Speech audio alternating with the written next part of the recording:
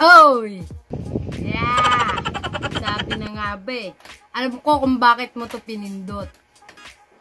Nahirapan ka dumumi, no? Masakit ang puwet mo pag nasakay ng tricycle. Lalo na pag dumaan ng hams. Ouch! Ang sakit, ba? Dumudugo na ba? Pasintabi sa mga kumakain. Dumudugo na ang puwet mo pag nadumi. Halos mapakapit ka na sa timba kung may timba ba dyan. Ito, para sa itong video to. Pero bago lahat, tulungan mo din ako kasi tutulungan kita. I-click mo yung subscribe and then click the bell button below. At kung gusto mo talagang gumaling, tapusin mo ang video to. Ang video to is based in my experience. Yan, tama. Isa po ako sa taong nagka-almo. O English, hemorrhoids. Sige, diretsuhin ko na. Baka kasi hindi nila alam sa Tagalog. Almoranas. Okay, nagkameron po akong almoranas. Totoo po yun. Operahan po. Naoperahan na po ako. Pero, bumabalik po siya. So, sige, kwento ko muna. Share ko lang. Share ko lang muna ang kwento ko. Nung Nung una ako nagka-almoran, na 70 years old ako. Ngayon, bumukol siya, ganun-ganun. Nakailang pa-check up ako, parang 10 beses na halos mautas na ako sa sakit. Na paulit-ulit na check up at walang makagamot. Tinaray ko na yung ang dami ko nang tinaray, hindi lang sa ospital. Tinaray ko yung sa may lukban, na yung pinapainita, tapos pinapasingaw sa ano, sa puwet. Tapos, diretsuhin ko na sinasabi ko. Tapos, na-try ko na din yung mag-steam bath. Tapos, na-try ko na din yung araw-araw ko na, hindi lang araw-araw, parang oras-oras. Hindi mo oras-oras, mga siguro pagkalipas ng dalawang oras. Yun, naupo ako dun sa may timba na may mainit na tubig, tapos pinapasingawan ko yung pit ko na mainit na. Ang dami ko nang na-try, guys. Pati sa paliligo, binababad ko sa mainit na tubig. Yung tipong sobrang init, kulang na lang maluto na yung pit ko. Pero tinitiis ko yung init. Yung kaya lang naman na pit ko.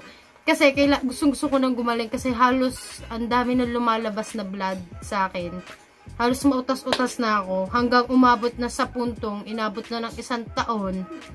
Yung sakit ko yun kaya inabot na sa pagpapa-opera. At yun na nga sa dami kong tinesting ang dami kong tinaray as in dami kong tinaray. Pero ni isa walang nakapagpagaling sa akin. Umabot pa rin ako sa puntong operahan ako. Ngayon operahan ako naka isang taon tapos lumipas ang isang taon bumabalik na naman siya. Di syempre tapos ano, take note, naka meron ng side effect ang pagpapa-opera. Ang daming nawala sa akin, nang hina ako, tapos parang konting kilos ko lang, naliliyo na ako, tapos mapapagod din ako, antukin ako. Ang dami pong nawala sa akin simula nung inoperahan ako. Pero nakakapagtaka, balat lang naman yung inalis at saka ugat. Ang dami pong side effect. Kaya, guys, kung gusto ko lang makatulong sa inyo para din nyo na maranasan mga naranasan ko. Kung gusto nyo gumaling dyan nang hindi nagpapa-opera kasi yung hirap po pag na-opera, hindi natin alam. Tsaka babalik din naman siya. Madami kong tinaray. Promise, guys. At thank God, guys, nakilala, nakilala ko ang product na to. Hindi, hindi ko para i-video to. Para magsinungaling o mag-endorse nito. Guys, da, mag-endorse ako. Hindi, kakunti pa nga subscriber ko. Kakunti pang views ko. Ah, dito ko para tumulong sa inyo. Tsaka guys, huwag kayong bibili ng peke kasi may peking nito eh. Mayroong original. Itong nabili ko, original to. Ang bili ko dito ay pumapatak ng 700. Yan, pababa. Hindi ko sure eh. Kasi matagal ko na itong nabili. Ginamit ko lang siya nung sumakit talaga ng sobra. Kasi hindi pa ako rin ako ganun ka-sure dito. Pero nung napatunayan na naman, oh, OMG! OMG! Oh my God! That's what she said! Isipin mo, sa tatlong araw na pagaling talaga ako nito. Dinanas ko pa yung maraming paghihirap na yon. Andito ka lang pala. Siya lang pala yung gamot. Kaya guys, let me help you. Ito gamitin mo para di ka na mahirapan. Tatlong araw ko lang siyang tinaray. Sa tatlong araw yung guys, wala na siya. Bumalik po sa normal. Tapos, not totally normal. Yung tahi. Pero yung guys, yung, yung hirap, nawala. Guys, tapos naging flat na siya, nawala na yung bukol. Tapos, ang galing niya. Ang galing niya. Medyo ano lang to, sa totoo lang, medyo amoy puwet. Pero effective kaysa dumaan ka pa sa sakit-sakit, upo ka sa tricycle, upo ka sa tricycle, tapos pag may hams, liliyat kang gayaan, tapos pag yumugyog, ang sakit pa rin, ba?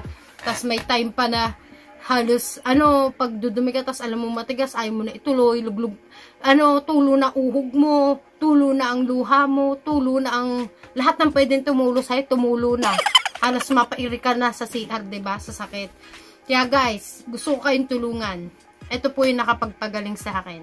Sa akin po talaga sobrang effective. Tapos tinaray din siya ng kapatid ko. Naging effective din po sa kanya.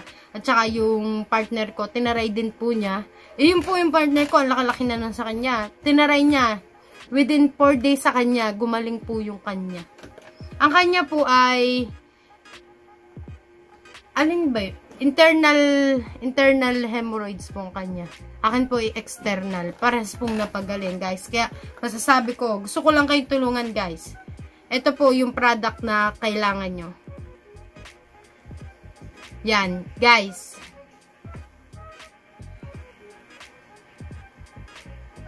Yan po. Babasahin ko yung instruction. Ay, hindi ko mabasa, in-check. Kung sino mo nanini. Basta gamot sa hemorrhoids to. Yan guys. Yan. Kung kung gusto nyong ano, kung wala kayong makitang ganon, ganto, just comment down below. Pwede ko kayong tulungan kung saan ko to binili. Pero, guys, hindi ko to ini-endorse ah. Gusto ko lang makatulong kasi ayoko nang, gusto kong mabawasan ng taong naghihirap dahil sa sakit na yon Diyos ko po, Mariosep. Diyos ko, Mariosep Marimar. Hindi ko na alam. talaga naman napakasakit ng experience kong yun. Kaya, para sa akin, gusto kong mabawasan yung mga taong nakakaranas ng kagaya nung sa akin. Pero ngayon guys, masasabi kong okay na okay na ako dahil dito. Opo, ilang buwan na, ilang buwan nang hindi siya bumalik, tatlong pahid lang. Kaunting-kaunti lang, as in, para lang siyang ointment na ganun. Papahid mo dun sa gilid ng pwede, tapos ipapasok mo ng kaunti wag nasa loob yung hemorrhoids, ipasok mo ng sobra. May tube din siya, guys. Papakita ko sa inyo para makita niyo. Gamit na to eh. Ginamit ko na to. Pero guys, hindi to madumi ha. Kasi sa daliri ko nilagay. Tapos counting lang. Sa labas lang naman kasi yung akin. Tapos medyo pinapasok-pasok dito sa loob. Yeah, may tube siya. So, kung ano tawag dito, basta ganito. Yung may butas, para may pasok sa loob. Pag sobrang lala, nadabihan nyo. Pero sa akin, sobrang konti lang. Ganito ang itsura niya guys, oh. Yung parang yellow, may yellow. Use na to eh. Medyo, medyo amoy ano siya pet. Pero, effective guys. At yun lang guys. Sana natulungan ko kayo ha. At sana gumaling kayo kung anong dinaramdam nyo. Basta comment lang. Tutulungan ko kayo. Sige guys, dito na lang. Hope you enjoy it. Bye-bye.